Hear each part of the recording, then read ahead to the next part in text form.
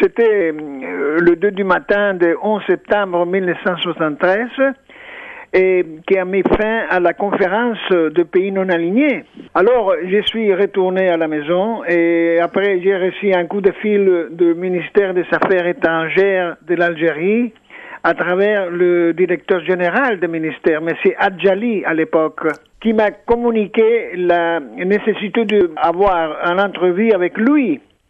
Je suis allé au ministère, il m'a confirmé que le gouvernement de l'Algérie à travers son président Ouari Boumedienne, avait décidé de non reconnaître absolument pas les gouvernements euh, golpistes de Pinochet. Au contraire, ils sont décidés à reconnaître dans la personne de l'ambassadeur de Chili à Alger la représentation du peuple chilien comme un véritable représentant du peuple chilien. C'était une chose unique dans le monde que l'Algérie avait reconnu dans ma personne à l'époque, et j'étais très jeune, cette manière d'agir. Aucun pays dans le monde avait, fait, avait fait une chose pareille. Je suis très heureux de vous raconter ça. Le jour après, le 12 septembre, oui. il y avait mhm. l'inauguration d'une place nommée Place Salvador Allende au centre-ville Monsieur Saloum, avant de revenir à cette date du 12 septembre et toutes les dates qui ont succédé au 11 septembre, quels sont ou quels étaient les échos que vous aviez eus du Salvador quand le coup d'État a eu lieu?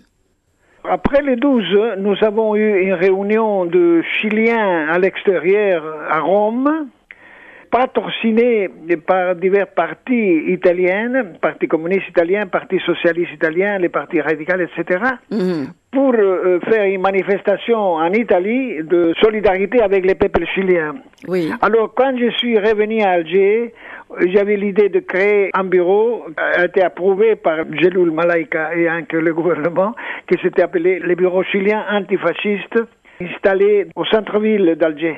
Dans cet euh, bureau, nous avons travaillé pour diffondre, diffuser toutes les notices, toutes les situations qui s'est développées au Chili pendant la dictature de Pinochet jusqu'en 1976, je crois. Quels sont les témoignages que vous receviez à l'époque du Chili, de personnes qui étaient restées au Chili après le coup d'État? D'État militaire était planifié sous la direction directe des agents de la CIA et qui devait produire quatre chocs, à mon avis.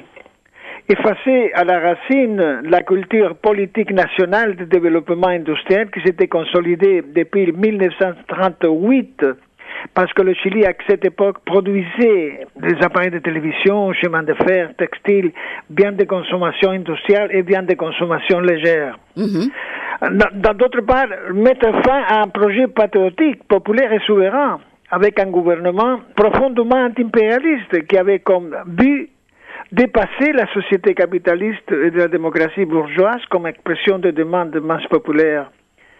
Et après ça, décimé physiquement par l'assassinat, je crois que ce sont plus de 3000 militants euh, de, de la gauche chiliens qui ont été assassinés, torturés, et plus d'un million de personnes ont été exilées dans divers pays dans le monde. Mm-hmm. La situation finale, toute cette euh, mesure de la dictature euh, pinochetiste, c'était l'implantation d'un modèle économique néolibéral des Chicago Boys de Milton Friedman, oui. avec une économie mono-exportateur de matières premières par cette pression militaire. Je vais vous rappeler que les coups d'État au Chili n'est pas un fait seulement chilien, parce que plus de 34 coups d'État ont été perpétrés dans 12 pays de l'Amérique latine depuis la seconde moitié du XXe siècle. L'Argentine, Uruguay, Paraguay, Brésil. Et le dernier cas, c'est le cas de Pérou avec le président Castillo, qui est emprisonné par cette bourgeoisie est liée complètement à l'impérialisme américain. Le président Allende était à la tête d'un vaste mouvement politique réunissant socialistes et communistes. L'unité populaire, c'est ainsi que le mouvement s'appelait. Il voulait mettre en place un État socialiste à la chilienne. C'est ainsi que le mouvement est également présenté de façon non violente et légale. Est-ce qu'il vous semble que c'est particulièrement cela qui inquiétait les États-Unis, qui craignaient une évolution du Chili un peu comme l'itinéraire qu'empruntait Cuba? Oui, une chose comme ça, parce que les produits de ces coups d'État répondent à deux objectifs.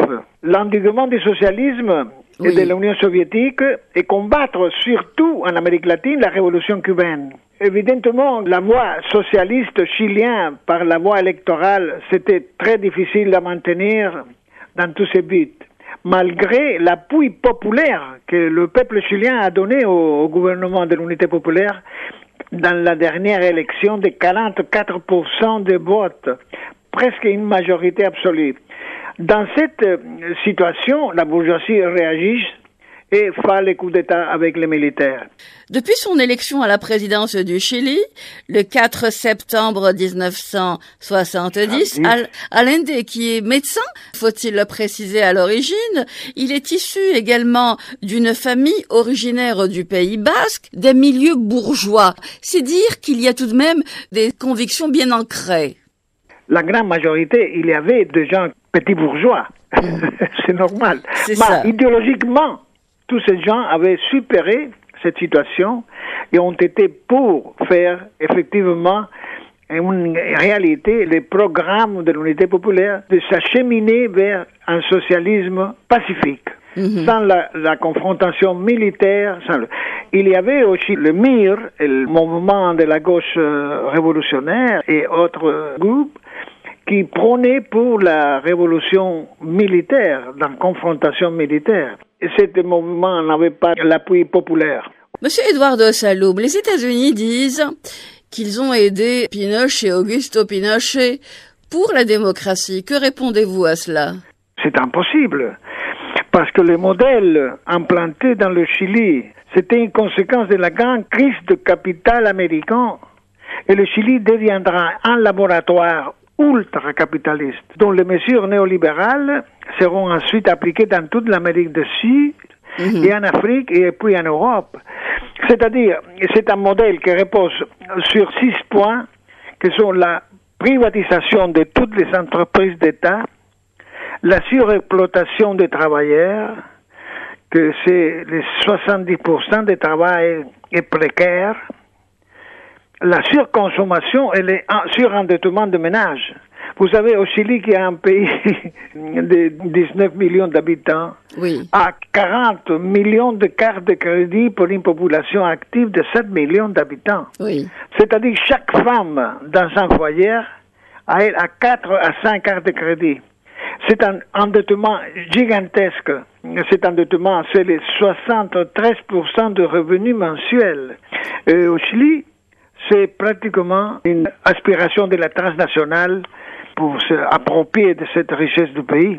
Sous Pinochet, il y a eu également le plan Condor, conçu en 1975, qui visait à éliminer les opposants de gauche, notamment. Euh, Jimmy Carter s'est un peu écarté de ce plan Condor, mais il a été avalisé par Nixon. Quel souvenir gardez-vous de cela? Oui, la chose la plus terrible, c'était le plan, plan Condor, le plan Condor. C'était un plan de toutes les dictatures latino-américaines.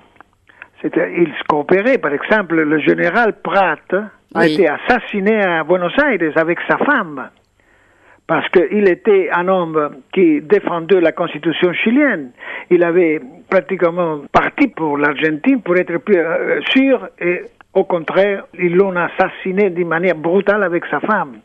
Et comme ça, des autres, Bernardo Leighton, dirigeant important de la démocratie chrétienne, qui appuyait la unité populaire, avait émigré à Rome, là où le fascisme italien, avec la coopération de, de l'ambassade chilienne de Pinochet à Rome, ont fait un attentat lui était sauvé par miracle avec sa femme. On a vu de toutes les couleurs en Amérique latine et même en Europe de cet attentat contre les militants de gauche de l'unité populaire. Cela a conduit à l'organisation d'un référendum. La défaite du général Pinochet a conduit le pays à une transition démocratique qui s'achève le 11 mars 1990. C'est une transition qui ne s'est pas faite, on va dire, sans entrave. Que pouvez-vous nous dire à ce sujet? Moi, je peux vous dire seulement que cette transition démocratique, c'était une transition dans la continuité du programme et des modèles de Pinochet, parce qu'on n'a pas modifié la constitution pinochetiste. C'était un leurre, hein, c'était juste un leurre, une façon de faire croire qu'il y a une transition, mais sans qu'il y ait de transition, sans fondement. Ça, sans changer absolument rien. Oui. Seulement qu'il n'y avait pas, vous pouvez, euh, on peut, on peut circuler, on peut parler, on peut opiner, mais la base de tous les modèles économiques, c'était les mêmes, les mêmes. Le Chili, euh, pratiquement avait un pourcentage de pauvreté énorme de 24% de la population, et active naturellement, mhm. était en bas de la seuil de pauvreté. Et ils n'ont changé rien. Tous les contrôles des grandes compagnies transnationales sur les ressources naturelles chiliennes ont été maintenus aussi la privatisation de tous les services publics, sanitaires, éducatifs, mhm. de logement ont été maintenus jusqu'à ce moment-là.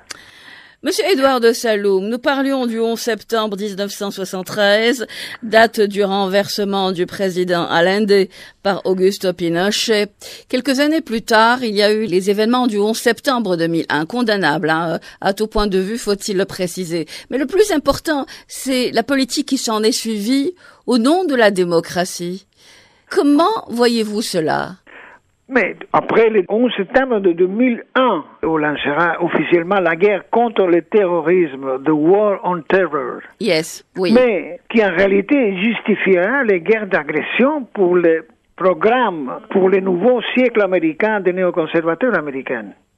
Et marquera une nouvelle étape de domination de la OTAN et du complexe militaire, industriel, énergétique, financier, avec l'agression de plus de 60 pays dans le monde principalement en Iran, en Libye, en Syrie, en Irak, au Yémen et en Afghanistan. Pratiquement les pays où sont des ressources énergétiques gigantesques. Et en Russie, le 2014, par une guerre de procuration en Ukraine, de pays qui étaient tous des amis de la Russie.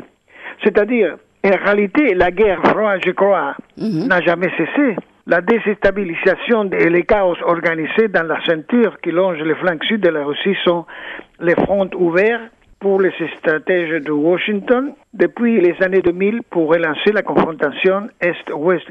C'est pour ça que la guerre froide continue aujourd'hui plus chaude. Donc la démocratie est vidée de son sens et foulée aux pieds. Oui, foulée aux pieds, oui, oui, oui, oui, oui. oui.